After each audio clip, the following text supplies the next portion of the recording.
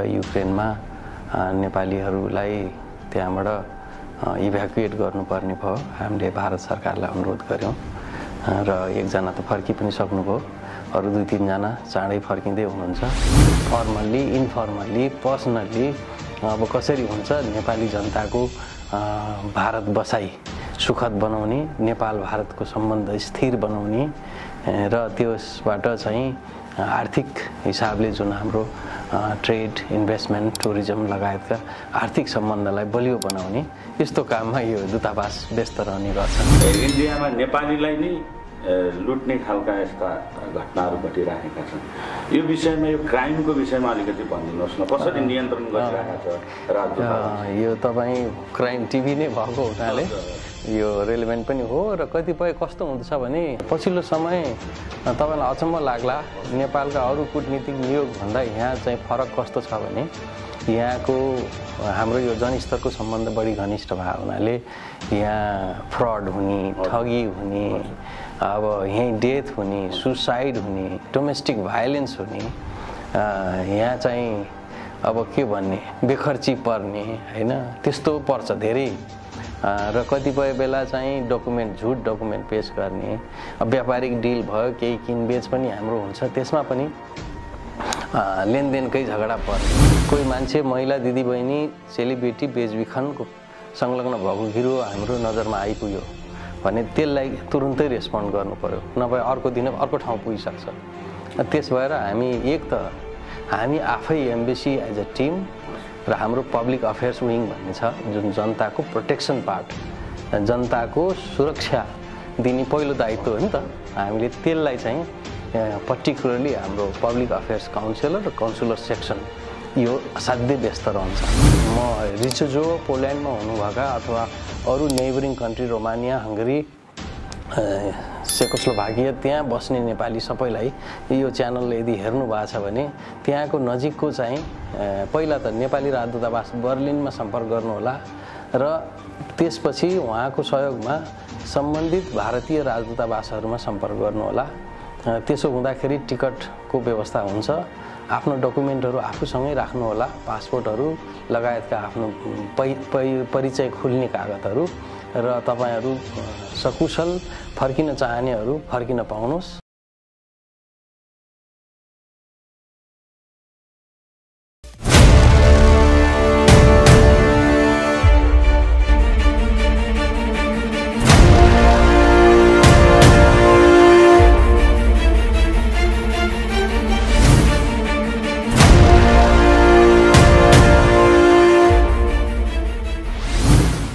दर्शकबिन नमस्कार। म कुशलभ केसी तपाईँहरू हेर्दै हुनुहुन्छ। क्राइम टिभी नेपालबाट कार्यक्रम जनगुनासो। दर्शकबिन जनगुनासोमा हामी विभिन्न समसामयिक विषयमा साथै विभिन्न ठाउँमा भइरहेका विभिन्न गतिविधिको सक्दो चिरफार र पर्दाफास गर्ने गर्छौँ। यसै बिचमा आज पनि हामीले नयाँ विषयवस्तु उठान गरेका छौँ। निरन्तर जोडिनका लागि अनुरोध गर्न चाहन्छु। यसै बिचमा हामी अहिले भने भारतको राजधानी नयाँ दिल्लीमा आएका छौँ साथै। अहिले प्रत्यक्ष हामी भारतको नयाँ दिल्लीमा रहेको हाम्रो नेपाली राजदूतावासमा छौँ र नेपाली राजदूत हाल कार्यरत रहनुभएका राजदूत रामप्रसाद सुवेदीज्यूसँग हामी कुराकानी गर्छौँ। जुन अहिले भइरहेको अवस्थाको विषयमा नेपाल र भारतको सम्बन्धको विषयमा लगायत यहाँ भइरहने विभिन्न समस्याको विषयमा प्रत्यक्ष उहाँसँगका कुराकानी यस भिडियो रिपोर्टमा पेस गर्न चाहन्छु नमस्ते नमस्ते जसरी अहिले तपाईँ यहाँको नेपालीका लागि तपाईँ एउटा राजदूत भएर आउनुभएको छ। नेपालीको आशा पनि तपाईँले गरेका धेरै कामहरूको प्रशंसा हुने गर्छ। धेरैजनाले पनि यसको प्रशंसा गरिरहनु भएको छ। यहाँको कार्यकाल पनि सफल रहोस् हाम्रो चाहना नेपालीहरूको चाहना पनि। जस्तो अहिले हालैको विषयलाई लिएर विभिन्न कुराहरूको टिका टिप्पणी भइरहने गर्छ। नेपाल र भारतको विषयमा एमसिसीका विषयमा लगायतका कुराहरू र यो बिचको सम्बन्ध अहिलेको वास्तविक कुरा त तपाईँलाई थाहा छ। ठ्याक्कै नेपाल र भारतको सम्बन्धको विषयमा भन्नुपर्दाखेरि अहिले रहिरहेको सम्बन्ध कस्तो चलिरहेछ सम्पूर्ण दर्शकलाई प्रष्ट गरिदिनुहोस्। थ्याङ्क यू केसीजी वास्तवमा नेपाल भारत सम्बन्ध वृहत छ बहुआयामिक छ। हामी ओपन बोर्डर मा छौँ। नेपालीहरू फ्रिली आउने जाने। दुवैतिरबाट भा यताबाट पनि जाने आउने छ। एक किसिमको आफैमा मौलिक र ऐतिहासिक सम्बन्ध छ। र अहिले हामीले काम गर्ने क्रममा पनि जस्तो भर्खरकै घटना लिँदाखेरि पनि हुन्छ युक्रेनमा। नेपालीहरूलाई त्यहाँबाट इभ्याकुएट गर्नुपर्ने भयो। हामीले भारत सरकारलाई अनुरोध गऱ्यौँ र एकजना त फर्कि पनि सक्नुभयो। अरू दुई तिनजना चाँडै फर्किँदै हुनुहुन्छ। यहाँ फेरि सबै विषयहरू ठोकिन आउने ठाउँ पनि हो।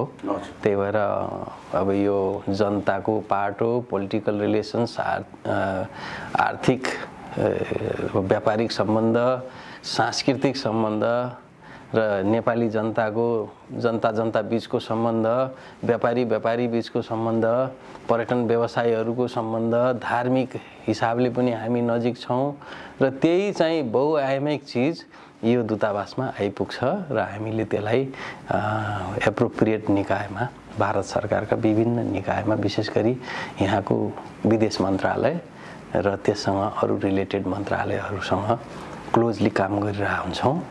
र कतिपय यहाँको स्थानीय निकाय पुलिस प्रशासन होइन र यहाँभित्रको नेटवर्क प्रान्तीय सरकार स्थानीय सरकार किनभने हाम्रो सम्बन्धै त्यस्तो खाले छ त्यसो भएर फर्मल्ली इन्फर्मल्ली पर्सनल्ली अब कसरी हुन्छ नेपाली जनताको भारत बसाइ सुखद बनाउने नेपाल भारतको सम्बन्ध स्थिर बनाउने र त्यसबाट चाहिँ आर्थिक हिसाबले जुन हाम्रो ट्रेड इन्भेस्टमेन्ट टुरिज्म लगायतका आर्थिक सम्बन्धलाई बलियो बनाउने यस्तो काममा यो दूतावास व्यस्त रहने गर्छ।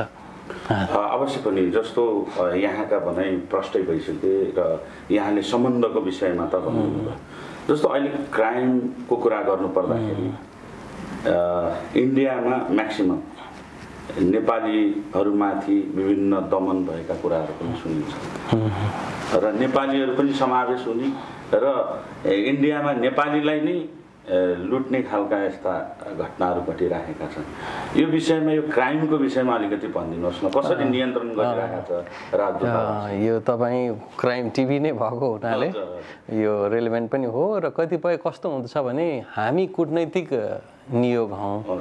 अन्त यहीँको प्रशासन यहाँको कानुन यहाँको पुलिस यहाँको स्थानीय निकाय होइन? त्यसलाई नै प्रयोग गरेर किनभने भारत सरकार पनि चाहँदैन कि नेपालीहरू यहाँ लुट्यौँ अथवा हामी नेपाल सरकार पनि चाहन्न कि भारतीयहरू नेपालमा लुट्यौँ त्यो होइन नि। हामी त जनस्तरको सम्बन्ध बलियो बनाउने होइन? त्यो काममा छौँ। त्यस भएको हुनाले नियोगले जहिले पनि यहीँको नेटवर्कसँग काम गर्छ। पछिल्लो समय तपाईँलाई अचम्म लाग्ला नेपालका अरू कुटनीतिक नियोगभन्दा यहाँ चाहिँ फरक कस्तो छ भने यहाँको हाम्रो यो जनस्तरको सम्बन्ध बढी घनिष्ठ भएको हुनाले यहाँ फ्रड हुने ठगी हुने अब यहीँ डेथ हुने सुसाइड हुने डोमेस्टिक भाइलेन्स हुने यहाँ चाहिँ अब के भन्ने बेखर्ची पर्ने होइन? त्यस्तो पर्छ धेरै। र कतिपय बेला चाहिँ डकुमेन्ट झुट डकुमेन्ट पेस गर्ने व्यापारिक डिल भयो केही किनबेच पनि हाम्रो हुन्छ त्यसमा पनि लेनदेनकै झगडा पर्ने होइन? क्रस बोर्डर म्यारिज हुन्छ त्यो होइन? पा पारिवारिक झगडा पार पाचुके होइन? डोमेस्टिक होइन? घरेलु हिंसा यस्तो पनि हुन्छ। यी घटनाहरू हुन्छन्। त्यसलाई हामीले यहाँ जति हामी दूतावासमा रिपोर्ट आउँछ त्यसलाई हामीले त्यसको गम्भीरता हेरेर होइन? कहीँ दुर्घटना भयो तुरुन्तै रेस्पोन्ड गर्नु पर्यो होइन कोही मान्छे मृत्यु नै भयो तुरुन्तै रेस्पोन्ड गर्नु पर्यो त्यही भएर हाम्रो मोटो चाहिँ विकेन्ड भन्नु भएन बिदाको दिन भन्नु भएन। कोही मान्छे महिला दिदीबहिनी सेलिब्रेटी बेचबिखनको संलग्न भएको गिरो हाम्रो नजरमा आइपुग्यो भने त्यसलाई तुरुन्तै रेस्पोन्ड गर्नु पर्यो नभए अर्को दिन अर्को ठाउँ पुगिसक्छ। त्यस भएर हामी एक त हामी आफै एम्बेसी एज अ टिम र हाम्रो पब्लिक अफेयर्स विङ भन्ने छ जुन जनताको प्रोटेक्सन पार्ट जनताको सुरक्षा दिने पहिलो दायित्व हो नि त। हामीले त्यसलाई चाहिँ पर्टिकुलरली हाम्रो पब्लिक अफेयर्स काउन्सिलर र काउन्सिलर सेक्सन यो असाध्यै व्यस्त रहन्छ। र त्यसमा अलि एकछिनपछि हाम्रो काउन्सिलरसँग पनि तपाईँ कुरा गर्नुहोला। र यसरी हामीले केस आइसकेपछि त्यसको गम्भीरता हेरेर रेस्पोन्ड गर्ने. विकेन्ड बिदाको दिन अफ आवर्स यो हामी भन्दैनौँ। किन यो इमर्जेन्सी सर्भिस जस्तै हो। त्यसलाई हेर्छौँ र कतिपय चाहिँ जसो ती समस्याहरू आइसकेपछि फेरि यहाँ कस्तो छ भने हुन त क्राइम चाहिँ दुई तिनवटा तरिकाले जस्तो कोही सेन्सिटाइज गर्ने हिसाबले हामीले बाहिर ल्याउने हो। नभएदेखि अब दुईतर्फी नै हुन्छ। कहिलेकाहीँ नेपालीले ठगेका घटना पनि छन् कतिपय भारतीयले ठगेका घटना पनि छन्। अब एकले अर्कालाई एउटा एउटा केसमा औँला देखाउने गर्न लायो भने चाहिँ समस्यालाई हामी समाधान गर्न सक्दैनौँ। तर हामीले दुइटै होइन को ओपन बोर्डर सेयर गरिसकेपछि समस्या पनि एउटा सेयर गरे जस्तै हो। र यहाँकै निका निकायलाई हामीले प्रयोग गर्ने र उहाँहरूलाई खबर गर्ने मुख्य च्यानल यहाँको विदेश मन्त्रालय हो। त्यसको पनि कन्सुलर सेक्सन छ त्यहाँ र अरू चाहिँ यहाँको लोकल प्रहरी प्रशासन त्यसलाई हामीले गर्छौँ सम्पर्क गर्छौँ। र हस्पिटलहरूले अब जस्तो कसैको उपचारकै क्रममा डेथ भयो भने त्यो डेड बडी नेपाल लैजानु पर्यो त्यो हस्पिटलहरूबाट पनि हामीलाई सिधै आउँछ। र जनताले पनि सिधै कल गर्नुहोस् भनेर हामी हटलाइन नम्बर राखिदिएका छौँ र राति अधराति जतिखेर पनि त्यो हटलाइनमा वाट्सएप गर्न सकिन्छ सिधै फोन गर्न सकिन्छ। त्यो घटना आइसकेपछि हामी कतिपय छलफल पनि गर्छौँ। अब यसलाई कसरी रेस्पोन्ड गरौँ भनेर अनि हामी त्यो सबै रिपोर्ट परराष्ट्र मन्त्रालय परराष्ट्र मन्त्रीज्यूलाई नै सम्बोधन गरेर जान्छ। र हाम्रै हाम्रो पुलिस प्रशासनले अप्नाउनु पर्ने केही सजगता छ भने त्यसमा लेखिएकै हुन्छ। यसो यसो गरौँ। नेपाल प्रहरी र यहाँको प्रहरी बिचको सम्बन्ध कस्तो छ? राम्रो छ हाम्रो मेकानिजमहरू छन्। सबै बोर्डरमा बोर्डरिङ डिस्ट्रिक्टको सिडिओ र यहाँको होइन? डिएम बिचमा भेट्ने मेकानिजम छ। प्रहरीहरूका पनि प्रमुख प्रमुख बिच भेट हुने छ। अनि हामीले एनुअल होइन? हरेक वर्ष चाहिँ डेलिगेसन लेभलमै भेट गर्ने गर्छौँ। विशेष गरी सशस्त्र प्रहरीको आइजी त अस्ति भर्खर आएर मिटिङ गरेर जानुभयो। यो क्रस बोर्डर क्राइमहरू विशेष गरी ड्रग ट्राफिकिङ ट्राफिकिङ इन अब गर्ल चाइल्ड र वुमेन र यस्ता स्मग्लिङ यिनीहरू एउटा फेरि कस्तो भने ह्युमन पार्ट भयो भने बढी सेन्सिटिभ हुन्छ। जस्तो मान्छेको मृत्यु हुने मान्छे इन्भल्भ हुने। त्यो चाहिँ सिरियस क्राइम हो। र अर्को क्याटेगोरी क्राइम पनि क्राइम नै हो तर त्यसलाई फेरि कसैको ज्यान तत्काल त गइसकेका छैन नि। त्यसलाई फेरि त्यही अनुसार हामीले अलि लङ टर्म पार्टनरसिप गर्ने हो होइन? त्यसरी पा लङ टर्म पार्टनरसिपबाटै से सल्टाउने गर्छौँ। र हजुर अनि म अब टुङ्गाउनै लाएँ। र यो चाहिँ केही स्टोरीहरू चाहिँ हामीले पब्लिकलाई भनिदिरहेको हुन्छौँ। जस्तो गएको महिना हामीले एकजना विदेश जाने भन्ने हिसाबमा महिला आउनुभयो। अब उहाँको व्यक्तिगत विवरण त गोप्य राखिदिनु अनि तर सबैलाई एउटा सूचना होस् भन्ने हिसाबले यसरी उहाँले अप्ठ्यारोमा परेर आउनुभयो र हामीसँग सम्पर्कमा आउनुभयो र हामीले उहाँलाई हामी शनिबार दिन थियो हामी सबै जुट्यौँ। हाम्रो म आफै आएँ अरू काउन्सिलरको साथी बोलाएँ हाम्रो काउन्सिलर बोलाएँ। पब्लिक अफेयर्स काउन्सिलर सबैजना बसेर फेरि छलफल गरेर उहाँलाई हामीले रेस्क्यु गरेर पठायौँ। यस्तो चिजहरू कोही कोही स्टोरी चाहिँ हामीले सेन्सिटाइज गर्न र जनतालाई सावधान हुन आजभोलि टेक्नोलोजी चेन्ज भएको छ होइन? सबैलाई हो। महिलाको कुरा निकालिरहनु पर्दा। जस्तो म्याक्सिमम चाहिँ भारतको मुम्बई। लगायतका विभिन्न कोठीहरूमा चाहिँ बेचिएका घटनाहरू छन्। मलाई लाग्छ त्यो पनि अघि हजुरले भन्दै गर्दा सायद त्यही विषयमा जोडिएको घटना हुनुपर्छ। यी कुराहरूको विषयमा जस्तो नेपालमा सोझा साझा महिलाहरूलाई गाउँमा फलाइ फुकाइ चाहिँ उहाँहरूलाई यहाँ ल्याएर बेचिने खालको जुन गतिविधिहरू भइराखेका छन्। यो विषयमा चाहिँ यहाँहरूको ध्यान कतिको अब? मैले अहिलेसम्म सल्भ गरिराखेका कुराहरू कति छन् यस्तो छ अब हामीले फेरि पुरानै हिसाबले असाध्यै पहिला कुनै समय यस्तो पनि थियो जुन हामीले अहिले जुन एक्टिभ। धेरै धेरै सिग्निफिकेन्टली इन्डिया गभर्मेन्ट पनि त्यसमा उत्तिकै पेजमा छ हामीसँग। र यस क्षेत्रमा काम गर्ने एनजिओ आइएनजिओहरू किन नेपाल माइती नेपाल अरू थुप्रै एनजिओहरू हाम्रो पनि सम्पर्कमा हुनुहुन्छ। र कतिपय बेला हामीले यहाँको लोकल कमिसनहरू वुमेन कमिसनलाई पनि हामी प्रयोग गर्छौँ। र अहिले चाहिँ त्यस्तो आफ्नो खुसीले मर्जीले कोही आइगया भयो त्यो त्यो अलग कुरा भयो तर जनरली यो पार्ट चाहिँ धेरै सुधार भएको छ। यसको मतलब फेरि अब समस्या छैन भने होइन केही होला। तर तपाईँले पहिलाको जस्तो चाहिँ एउटा बोन्डेड किसिमले फोर्स लेबर होइन? अब एक किसिमको स्लेभरी होइन दास्ता जस्तै बन्धक जस्तै बनाएर चाहिँ नि राखेको घटनाहरू चाहिँ हाम्रो नजरमा आए पनि छैन। र आउँदाखेरि पनि हामीले अलिअलि त्यस्तो अघिको मैले भने त्यस्तो घटनामा चाहिँ तुरुन्तै रेस्पोन्ड गर्ने गरेका छ। र मेरो विचारमा यो सबै हामी सबै सजग पनि भइसक्यौँ। कुनै बेला सचेतना कमी थियो। अहिले गाउँ गाउँसम्म नेटवर्क छ एनजिओहरू छ हामी नै छौँ। आह्वान गरिरहेछ। महिला मन्त्रालय छ नेपालमा पनि। नेपालको वुमेन कमिसन छ। सबै प्रहरी प्रशासन सबै लागेर यसलाई हामीले नियन्त्रण गर्न सकेका छौँ। र त्यसमा फेरि अब नियन्त्रण भयो ढुक्क गएर बसौँ भन्ने होइन। तपाईँहरूले सोध्दाखेरि हामी फेरि त्यसलाई होइन त्यसलाई फेरि कन्टिन्युसली हामीले वाच चाहिँ गरिराख्नुपर्छ। ल मैले यति भने अहिलेलाई है? अवश्य पनि एकदमै यहाँसँग लामो संवाद भयो। जाँदा जाँदै जस्तो अहिले अल्पत्र परेका नेपालीहरूको विषयमा तपाईँले अहिले सुरु चरणमै हामीले भारत सरकारको सहायता अनुसार एकजनालाई चाहिँ नेपाल पठाइसक्यौँ हजुर, त्यस्तै जस्तो त्यही युक्रेनमा रहनुभएका फसिएका ती व्यक्तिहरूको परिवार सायद चिन्तामा हुन सक्छन्। उहाँहरूका लागि यहाँले जाँदा जाँदै अन्तिममा केही सन्देश दिन चाहनुहुन्छ। के होला उहाँहरूलाई कसरी चाहिँ रेस्क्यु गर्न सकिएला? अझै यहाँहरूको कुराकानी यहाँको सरकारसँग चलिराखेको छ कि छैन? Thank you. कहिलेसम्म आउलान् यो विषयमा? ल अब यो खासमा हाम्रो दूतावास इन्चार्ज दूतावास चाहिँ बर्लिनमा भएको हो। तर अब भारत सरकारले यो अपरेसन गङ्गा भन्ने एउटा मिसनै चलाएको छ। होइन अहिलेसम्म करिब पचास फ्लाइट भइसक्यो र थुप्रै भारतीयहरू फर्किनुभयो। त्यसमा नेपालीलाई पनि उहाँहरूले एडजस्ट गर्न थाल्नुभयो। एकजना फर्किसक्नुभयो उहाँहरूको यहाँसम्म भारत सरकारले ल्याइदियो यसपछि चाहिँ हामीले ट्रेन टिकटहरू काटेर पठाएको छौँ आज पनि पाँच सातजना आउनुहुन्छ कि बेलुकासम्म भनेर म अहिले बिहान काम गर्दै थिएँ। यहाँको विदेश मन्त्रालयसँग। र म त्यही गुड न्युजको प्रतीक्षामा छु। अब हामी नेपालीहरू बिस्तारै अब आफ्नो करियरको सिलसिलामा रोजगारीको सिलसिलामा विदेशमा छौँ। विदेशमा सबै सुखद हुँदैन। केही महिना पहिले अफगानिस्तानमा त्यस्तै पर्यो।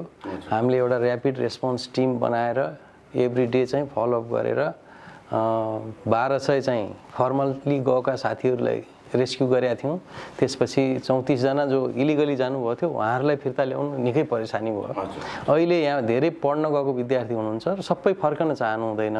किनभने केही रोजगारीको हिसाबले जानुभएकाहरू त्यतै नै नेबरिङ कन्ट्रीमा काम गर्न पनि खोज्नु भएको छ। जो फर्किन चाहनुहुन्छ उहाँलाई हामीले आह्वान गरेका छौँ र भारत सरकारले हाम्रो अनुरोधलाई स्वीकार गरिदिएको छ र आजै केही सङ्ख्यामा थप विद्यार्थी आउने खबर मलाई आइरहेछ। र यो विपदको बेलामा विद्यार्थी भनेर जानुभएकाहरू अलपत्र नपर्नु परोस्। र हामी यहाँ हुँदाखेरि भारत सरकारले हामीलाई प्रोमिस गरिसकेका हुनाले म रिचोजो पोल्यान्डमा हुनुभएका अथवा अरू neighbouring country Romania Hungary Czechoslovakia त्यहाँ बस्ने नेपाली सबैलाई यो च्यानलले यदि हेर्नु भएको छ भने त्यहाँको नजिकको चाहिँ पहिला त नेपाली राजदूतावास बर्लिनमा सम्पर्क गर्नुहोला र त्यसपछि उहाँको सहयोगमा सम्बन्धित भारतीय राजदूतावासहरूमा सम्पर्क गर्नुहोला। त्यसो हुँदाखेरि टिकटको व्यवस्था हुन्छ। आफ्नो डकुमेन्टहरू आफूसँगै राख्नुहोला पासपोर्टहरू लगायतका आफ्नो पै पै परिचय खुल्ने कागतहरू र तपाईँहरू सकुशल फर्किन चाहनेहरू फर्किन पाउनुहोस्। र घर परिवारमा आफ्नो छोरा छोरी अथवा आफन्त चाहिँ विदेश हुनुहुन्छ र यो एउटा सङ्कटको समयमा शान्त रहन र क्लोजली दूतावासहरू इभन नेपाली राजदूतावास दिल्लीलाई पनि सम्पर्क गर्दा हुन्छ। र फिल्डमा हामी काम गरिरहेछौँ धेरै टाढा छ। इस्टर्न युरोप कन्ट्री हो। दिनौँ केही समयसम्म अलिकति हामीले युद्ध विराम जस्तो देख्न पाइरहेछौँ। त्यसो भएर यो समयमा धैर्य राख्नुहोला। र हाम्रो प्रयास जारी छ। र उहाँहरूलाई सकुशल फिर्ता ल्याउन चाहिँ हामी काम गरिरहेछौँ। Thank you KCG thank you very much अवश्य पनि एकदमै खुसी लाग्यो। यहाँको यो व्यस्त समयका बावजुद पनि यहाँले प्रत्यक्ष नेपाली दर्शकहरूसँग यहाँसँगका कुराकानी र अहिलेको यो जुन युद्ध भइरहेको बेलामा पनि यहाँले जुन कार्य गरिरहनु भएको छ जसरी चाहिँ नेपालीहरूका लागि आफू इन्डियामा भए तापनि हजुरले भारतबाट पनि प्रयास यो जारी राख्नु भएको छ। पक्कै पनि यहाँको समयका लागि एकदमै हाम्रो क्राइम टिभीको तर्फबाट हृदयदेखि धन्यवाद। थ्याङ्क यू थ्याङ्क दर्शकबिन निरन्तर यहाँहरू समक्ष हामीले यो अपडेट दिइरहेका छौँ र हाली नेपालका लागि भारतमा रहनुभएका हाल कार्यरत राजदूत रामप्रसाद सुवेदीज्यूले निरन्तर युक्रेनबाट भारतवासी भारतमा आइरहेकै बेला यही मौका छोपेर आफूले पनि नेपाली नागरिकहरूलाई भारत ल्याएर भारतबाट नेपाल पठाउने काम गरिरहनु भएको छ। यो समयमा यदि कोही कतै फसिनु भएको छ भने यहाँहरूले तत्कालीन नेपाल एम्बेसीलाई सम्पर्क गर्न सक्नुहुन्छ। युक्रेनका आसपासमा रहेका ठाउँहरूमा तपाईँले त्यहीँ रहेको राजदूतावास इन्डियन एम्बेसी यानि कि इन्डियन राजदूतावासमा यहाँहरू गएर त्यहाँबाट तत्कालीन हाम्रो एमबिसीलाई सम्पर्क गर्न सक्नुहुन्छ र त्यहाँबाट तपाईँहरू नेपाल आउने सम्भावना हुन्छ। यहाँहरूले हेरिरहनु भएको छ आजको दिनसम्म अठारौँ दिन भइसक्यो। युक्रेन र रसिया बिच भएको यो लडाइँले अब विश्वयुद्ध नहोला भन्न सकिँदैन। बिचबिचमा भएका यी घटनाको बारेमा यहाँहरूले निरन्तर हेरिरहनु भएको छ। यसको विषयमा हामीले बोलिरहनु परेन। त्यहाँबाट कयौँ लाख मानिसहरू हताहत भइसकेका छन् भने त्यहाँ नेपाली नागरिकहरू पनि विभिन्न देशहरूमा प्रवेश गरिसकेको अवस्था छ भने केही व्यक्तिहरू यदि कुनै समस्यामा हुनुहुन्छ भने यहाँहरूलाई तत्कालीन भारतमा रहनुभएका नेपाली राजदूत रामप्रसाद सुवेदीज्यूले भन्नुभएको कुरा यहाँहरूले प्रश्न हेरिसक्नु भएको छ। पक्कै पनि यहाँहरू सम्पूर्णलाई मैले यहाँको अपडेट दिएको छु। सक्दो यहाँहरूले यो भिडियो पनि यति धेरै सेयर गर्नुहोस् र नेपालमा रहनुभएका सम्पूर्ण जुन युक्रेनमा बसोबास गरिरहनुभएका व्यक्तिहरूका आफ्ना आफन्त र आमा बुवा दाजुभाइ सम्पूर्णले सम्पर्क हामीलाई पनि गर्न सक्नुहुन्छ। यदि हामीलाई गर्नुभयो भने पनि फसिएका व्यक्तिलाई सक्दो हामीले भारतमा रहेको हाम्रो राजदूतावासमा सम्पर्क गरेर हामीले पनि सक्दो प्रयास गरौँला। यहाँहरू निरन्तर जोडिनुहोला। अन्य अपडेट पनि हामीले दिइराखेका छौँ।